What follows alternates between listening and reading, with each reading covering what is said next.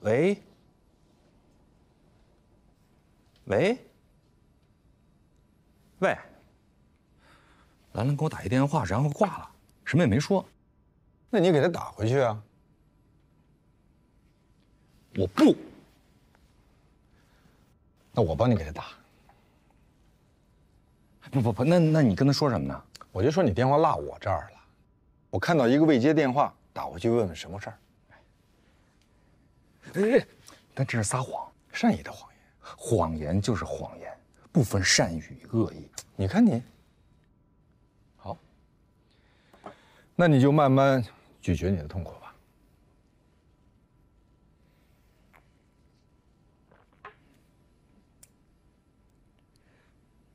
你找我什么事儿啊？你就当做是我来找你喝酒的吧。不，你找我肯定有事儿。是，本来呢，我是想来跟你讨论讨论这个案子。如果说我们俩一起共同代理，那我总要知道你的论点是什么吧。那你为什么说是来找我喝酒的？因为你不在状态。但这梦之蓝是你带来的，是我带的。那是因为我预判到你不在状态。你看，我的预判多么准确。尽管我希望你向我证明我预判错了，我保证。现在我们回到案子上来，你保证？我保证。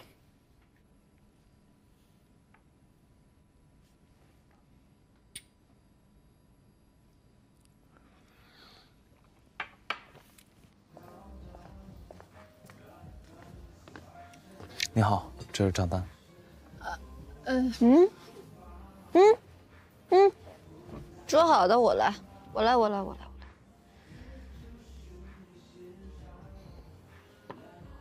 嗯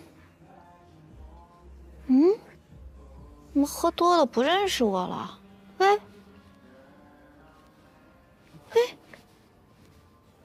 哎，行，我来吧。手手机支付可以吗？啊，都可以。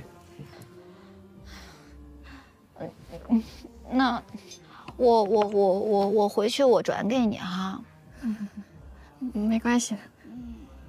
嗯，好了。嗯，你等会儿，帮我开个发票啊。好的，没问题。浩瀚超越。这个案子的前提你都已经很清楚了。我来想跟你谈的重点就是，我们应该让蓝红意识到，无论如何，由他自己上庭出庭。一定不如把这个案子委托我们好。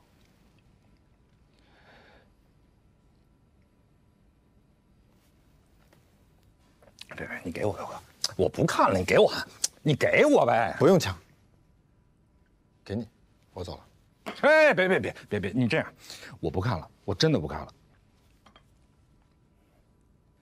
我保证，我会全力以赴，全神贯注。专心致志的听你说，其实我刚才一直在专心致志的听你，一直听吗？一直在听。你刚才说过多少次了？你保证？可是我在认真跟你谈的时候，你每隔几分钟就看一下手机。请问我怎么跟你谈？怎么跟你讨论？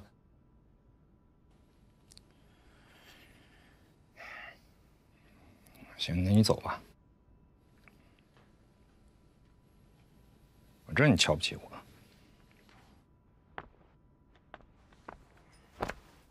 我没有瞧不起你。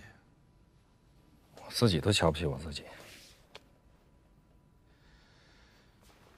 何在？我真的没有瞧不起你，是真的。我特别能理解你此时此刻的心情，因为我也有过，比你还不堪。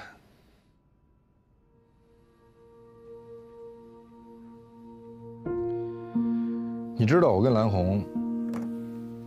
当年我们俩都准备结婚了，连婚房都买了。哦，慢点，慢点，没没没，啊，谁催没催，慢点慢点，没催，站稳了啊！是你自己啊？现在就我一个人。哎，你去哪儿呢？哎，洗手间在那边，那边，慢着点啊。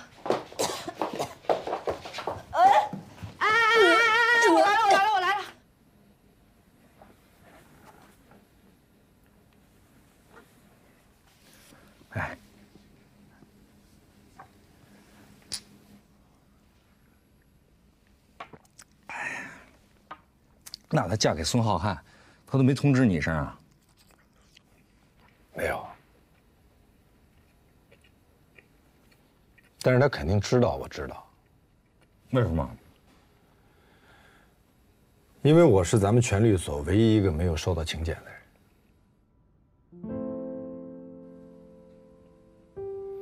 那你们俩就这么分手了？我们俩连分手都没有说过。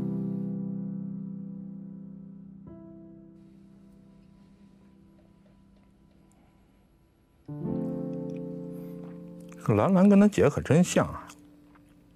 这翻脸比翻书还快，说翻脸就翻脸。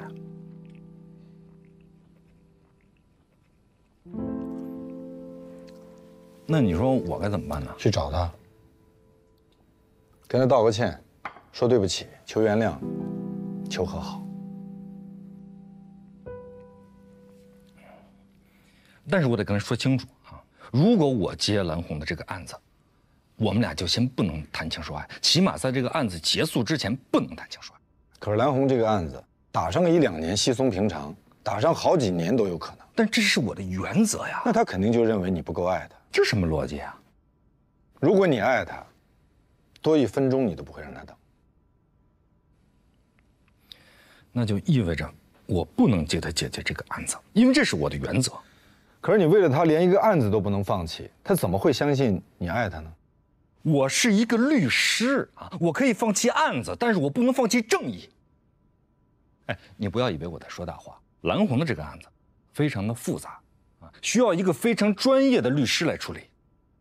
而且我觉得像孙超越这种人，很有可能用上威胁啊、收买律师的手段。我也是律师，我也非常专业，而且我也不怕威胁，也不会被收买。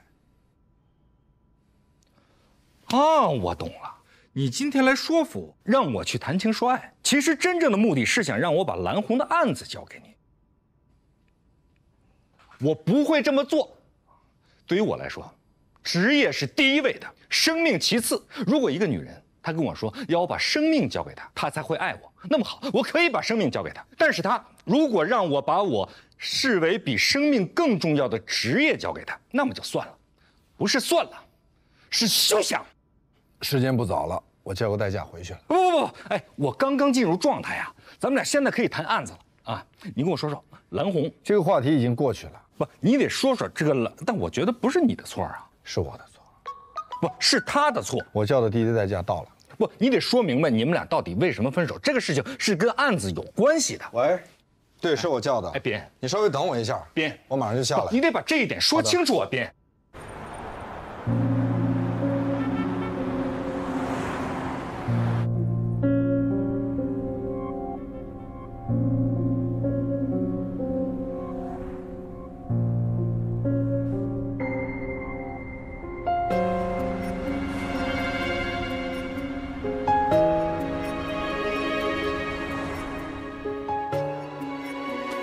是不是直接跟人家翻脸来着？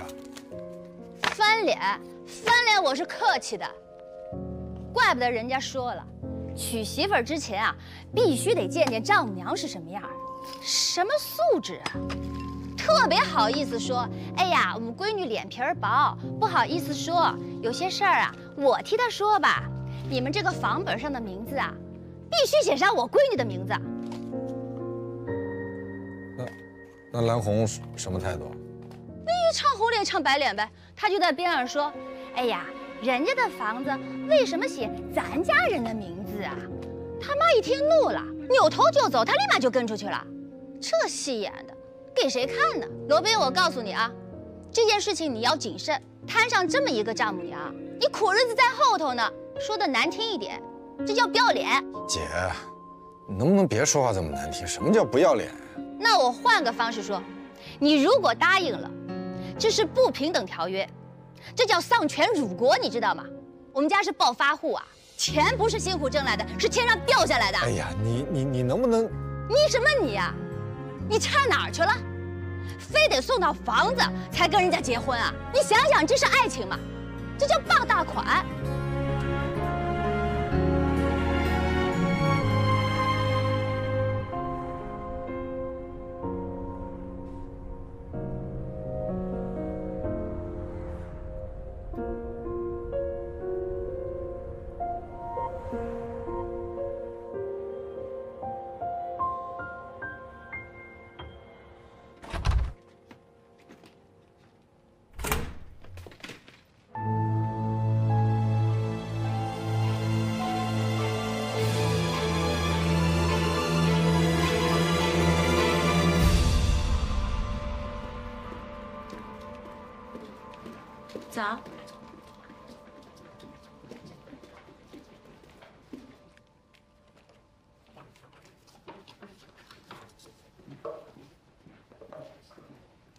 姐，我买了蛋糕，你过来吃点吧。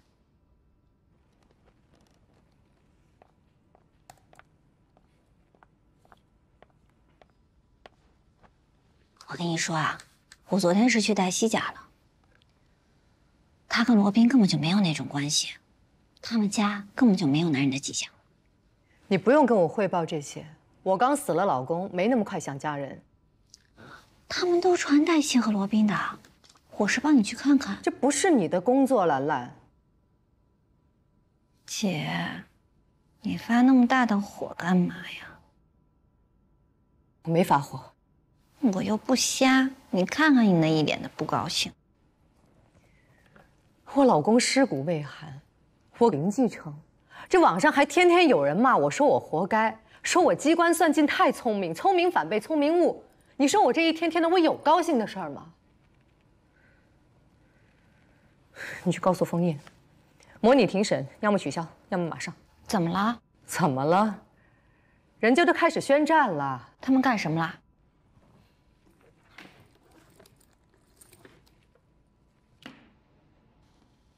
他们怎么还搞这个呀？太无聊了。去告诉封印，我要发起诉讼，申请诉讼保全。姐，我早就跟你说过了，就不能轻易饶了他们。你还说什么家丑不可外扬，咱们早就应该起诉他们。你还在这愣着干嘛？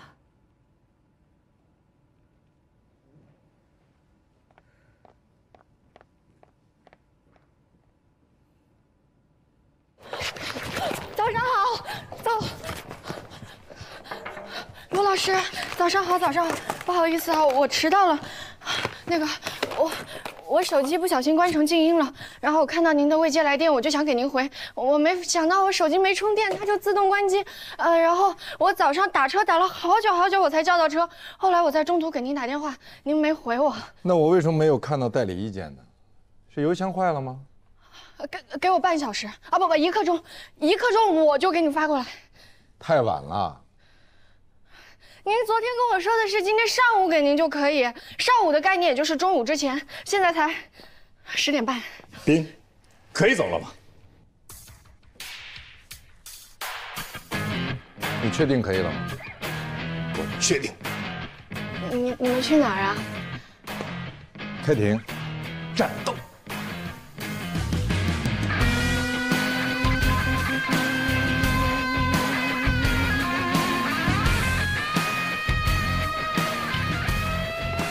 我今天特别特别的忙，不是他们去哪里啊？模拟法庭啊，提前了，你不知道吗？为什么？你问兰兰去啊，你们俩关系不是挺好的吗？我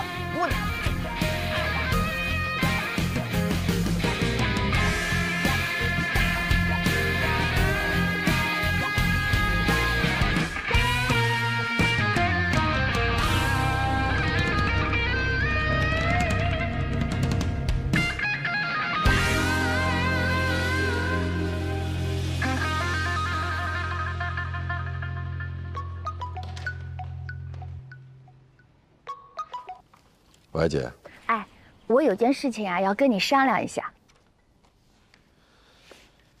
你等一下，我出来说。急吗？嗯，不急，但是中午以前必须要做决定。什么决定？我跟你说啊，就是那个王丽啊，最近一直在联系我。王丽，就是原来追过你那个王丽。我知道你不喜欢她，你们什么时候联系上的？嗯，是一个挺偶然的机会。他是不是问了很多你来红的事儿？对啊，最近我们聊了挺多事儿呢，还聊到你以前的事儿。以后你不要再见他了。为什么？他是孙超越的法律顾问。我又不认识孙超越是谁啊？你在哪儿？电话里说不清楚，我现在马上过来找你。请当事人委托代理人按席位就坐。你坐吧，我来跟你说一下，我有事要出去一趟。出去，马上就开庭你了。你来配合何塞老师。临阵逃脱，明显不敢面对。请大家肃静。现在宣布法庭纪律。你要去哪儿？大家都在看着你。如果你现在走了的话，就是逃跑。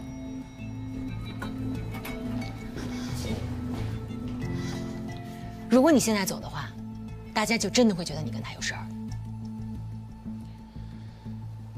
王丽找罗琦了。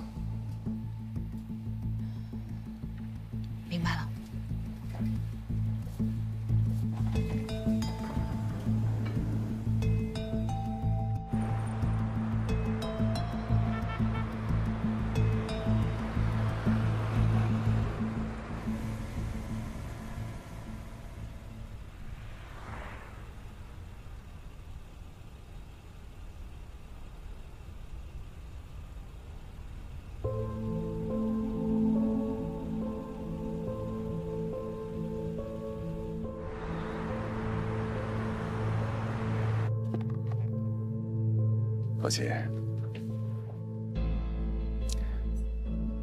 在你还是少女的时候，我就非常喜欢你，爱你。我想把你忘记，但是我真的做不到。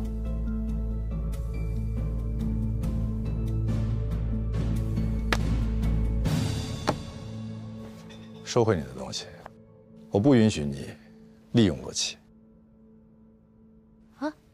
罗宾，你以为我跟你一样吗？我是跟你不一样，我从来不会像你一样为了赢官司不择手段。那你认为你从无败绩、战无不胜，是因为你的能力强吗？那可能是因为我永远站在了正义的一边。你跟我走，走。我不是十八岁，我有自己的判断，好不好？他找你，就是想借你的口说出蓝红是一个薄情寡义、贪图钱财的女人。她不配拥有任何遗产。梁红不是这样的人吗？我从来觉得就是啊，难道不是吗？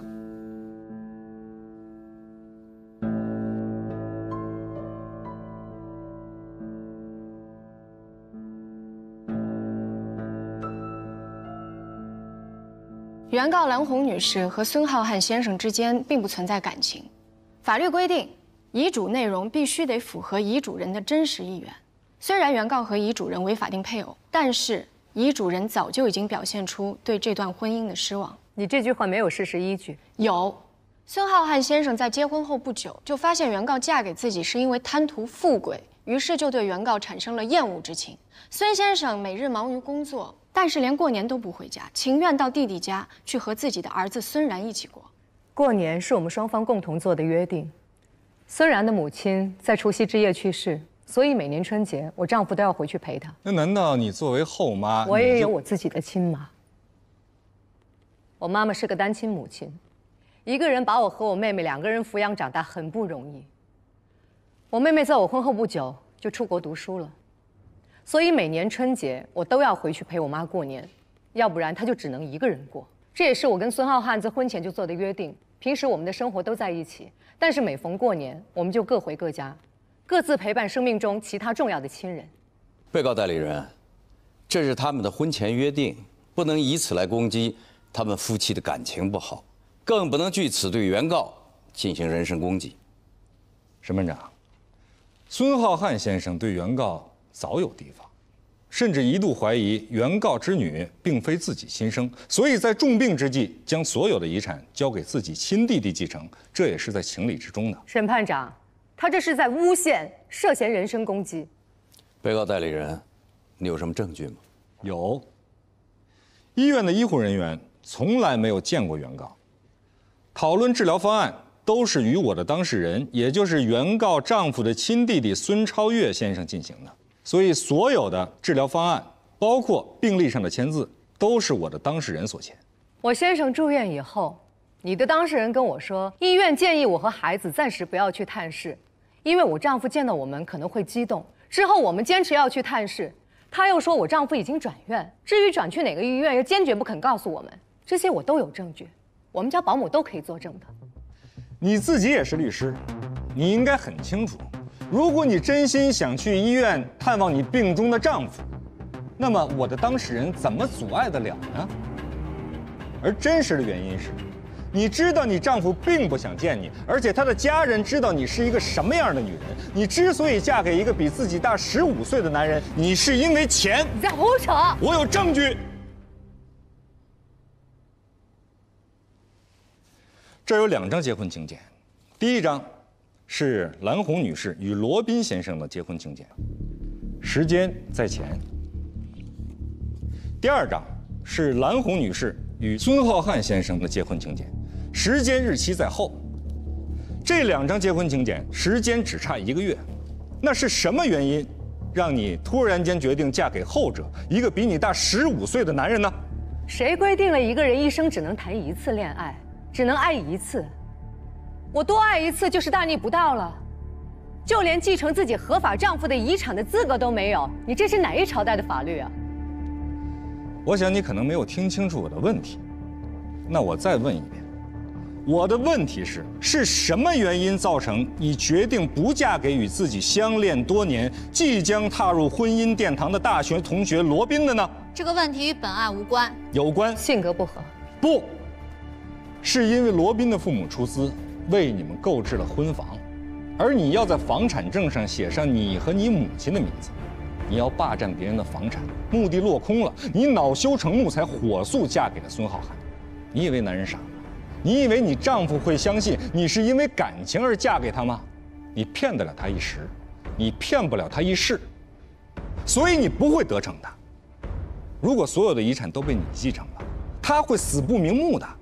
我真是不明白，你哪来的自信，在这信誓旦旦的争夺遗产？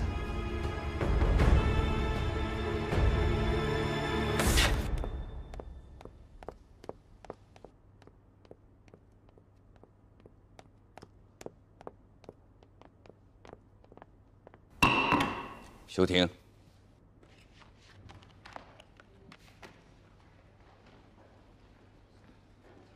你有点过分了。我是为了不管为了什么，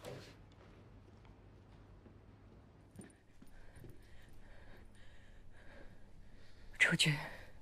孙超越的律师是顾杰和王丽。出去。你应该明白，顾杰会比何塞更狠。他更了解你的软肋。他那时候是你我的上司，他知道我们俩结婚没有结成，而且后来他参加了你跟孙浩瀚的婚礼。你以为我当初没有嫁给你，是因为房产证上没有我们的名字吗？不管是因为什么，都不重要了。那你也不能侮辱我，尤其不能让何塞侮辱我。罗平，当年我妈被你姐怼得心口疼，在电梯就吃了速效救心丸，这事你记得吧？这件事儿。我们不提了。我要提，为什么不提了？回家之后我就一直劝我妈，我妈直接就跟我翻脸了。罗宾，你有没有想过，我妈为什么会提出那样的要求？这是作为一个母亲对于她女儿未来的担忧和考虑，你想不到吗？他提出的理由难道就真的那么不可理喻吗？是我当初也很反感我妈为什么会这么做。但是后来我想明白了，我不嫁给你，不是因为房产证上不加我们的名字，而是因为你们家的态度。你们家看不起我们家，认定我们庸俗，认定我妈庸俗，我们家庸俗。我本来根本就不介意房产证上有没有我的名字，我知道你们家的态度之后，我就介意了。我必须要在这个房产证上加上我的名字，我凭什么不加？我们别再说这件事了，好不好？我就是要说，你都能当面跟何塞吐槽，凭什么不敢当面跟我说清楚啊？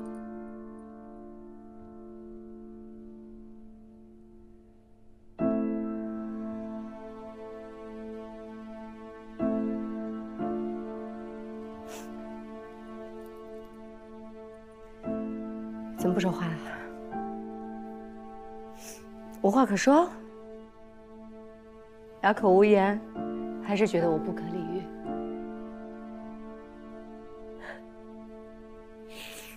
罗宾，我真的，我真的是太了解你了。你打从心底就认为，结婚一定是为了真爱，而真爱不应该谈钱。我们家跟你谈钱了，就辱没了婚姻，辱没了真爱，也辱没了你。你多骄傲的一个人啊！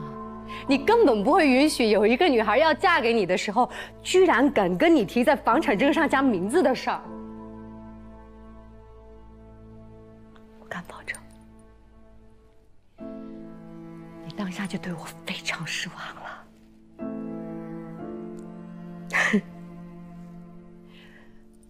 因为你失望，所以我也很失望。之后，你没有再给我打过电话，我们俩也没有正式说分手，就是因为失望。两个失望的人，不要再因为分手多失望一次了。所以我火速另嫁他人，不是因为钱，是因为失望。失望，你懂吗？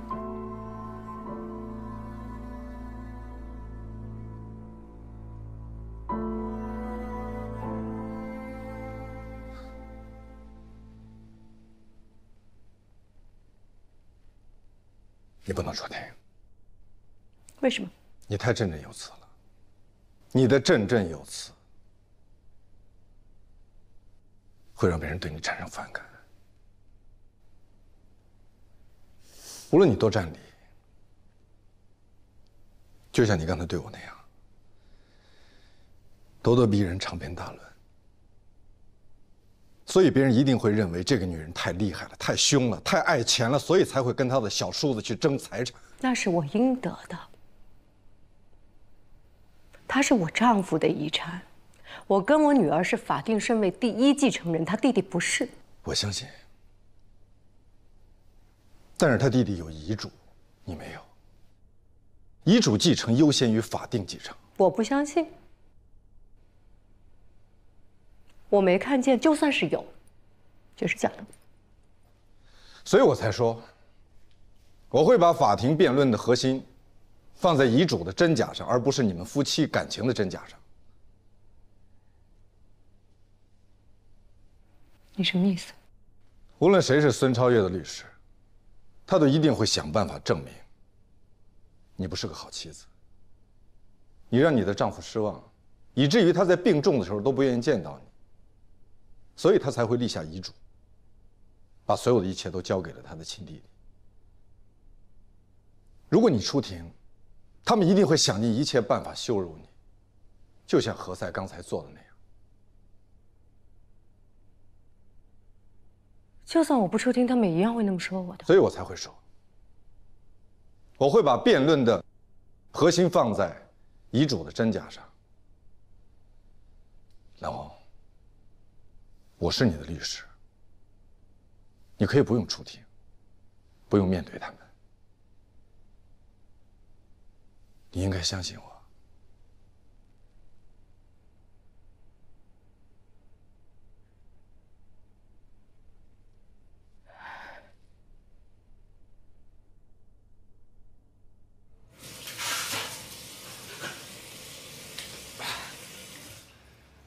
这只是男洗手间，所以这里没有摄像头。对不起啊，刚才我对你姐姐帅爆了，棒极了！我都是见我的姐姐把别人怼得体无完肤，我第一次见她是被别人怼成筛子。你是在给我点赞。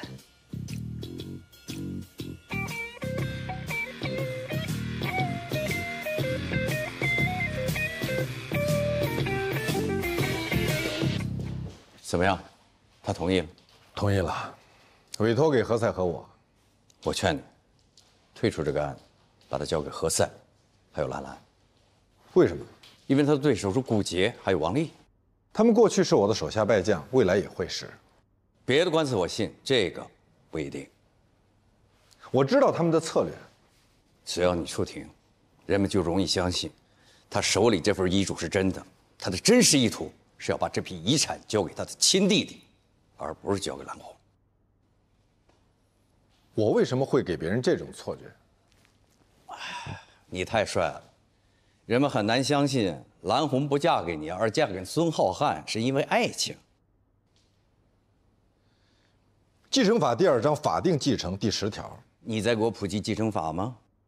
我是要说，继承法规定了配偶是第一顺序继承人，合法婚姻中的双方互为配偶，所以只要蓝红和孙浩瀚是合法的婚姻关系，蓝红就是法定的第一顺序继承人，继承法才不管他们相爱不相爱。法定继承又称为无遗嘱继承，是相对于遗嘱继承而言的。孙超越的手里就有一份这样的遗嘱。但是这份遗嘱的真实性值得怀疑。我说过，只要你出庭，人们就愿意相信孙超越，并且愿意相信孙超越手里的遗嘱的真实性。毕竟，孙浩瀚是孙超越的哥哥。不，我跟孙超越打过球，他亲口对我讲过，当时他哥哥连自己是谁都不知道，而且我相信，他绝对不止对我一个人讲过，所以我一定可以找到证人证言证明这个遗嘱是假的，是无效的。刘斌，你没有哥哥，我有。假如说，是我和我哥哥辛辛苦苦的挣了上百亿的家产，我哥哥病过了，我小嫂子作为第一顺序的继承人继承了这份家产，并且找了一个很帅的小伙子来享用，我特别不爽。不爽不是因为我什么都没捞着，而是觉得这样对我哥哥不公平。特别的不公平。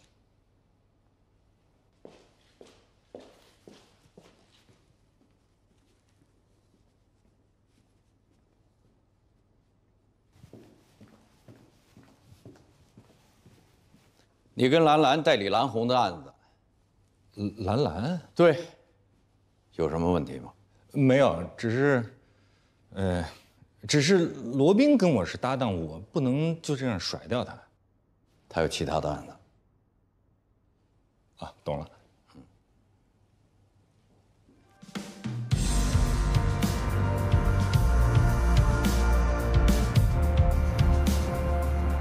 怎么样，找到了吗？全在这儿了。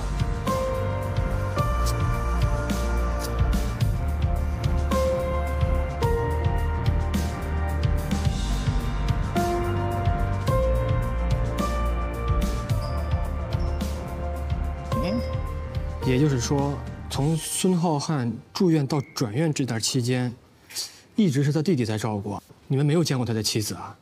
对呀，每次家属签字都是他弟弟签的呀。那您这其他的护士有没有怀疑过，为什么他的妻子从来没有露过面呢？这个情况啊很常见，现在很多夫妻呢感情都不好，巴不得老公啊早点死。你在这干什么呢？我来了解下情况。啊，你好，两位有什么事儿？你好，我们是全景律所的律师，我们过来来了解一下情况。啊，不好意思啊，马上要交班了啊，我们聊。何塞老师再见。张小天，啊，你不适合做律师这个职业，你不如趁现在年轻换一个职业。打官司是一项对抗性非常强的一项活动，也不适合你。之前我一直在有意识的锻炼你，强健你的体魄，磨砺你的意志。可是你呢？你却逃之夭夭了。如果是这样的话，你不如逃得更远一点，过一种适合你的人生。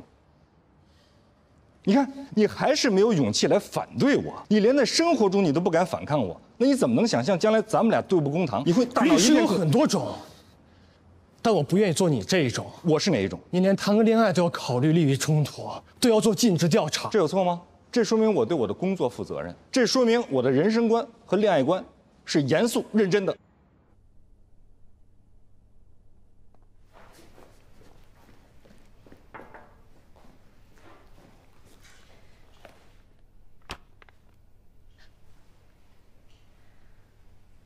有什么事儿吗？嗯，我明天想请半天假。没问题，哦，我是去去去哪儿都可以，不用向我汇报。您您现在有空吗？你说，有这么一件事儿。说。呃，我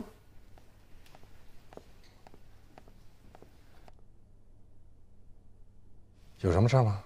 有事儿。那那你们先聊，我先走了。你这助理怎么神神鬼鬼的？我不觉得呀，他明明就是有话要跟你说啊。人家有什么话不想当着你的面说，不能说神神鬼鬼吧？还护着他，我只是说了一句公道话。我觉得你好像在偏袒他。有的时候人的感觉，不是总是正确。着急下班吗？丽娜痛恨加班，如果你不想让她恨你，那就让她先下班好了。一般情况下我不下班，她是不会下班的。难怪她没有男朋友。我不明白为什么有人会以没有男朋友来评价女性。没错，这个问题真该好好研究。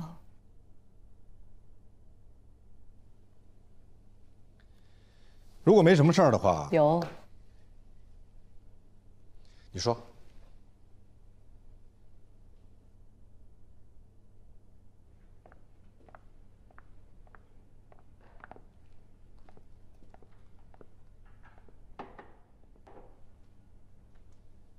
一般情况下，我的办公室门不会关的。因为接下来我要跟你说的话，我不想让任何人听到。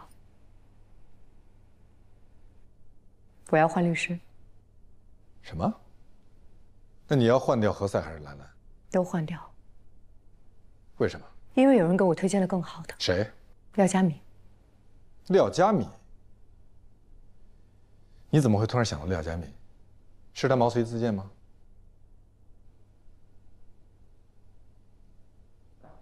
到底怎么回事？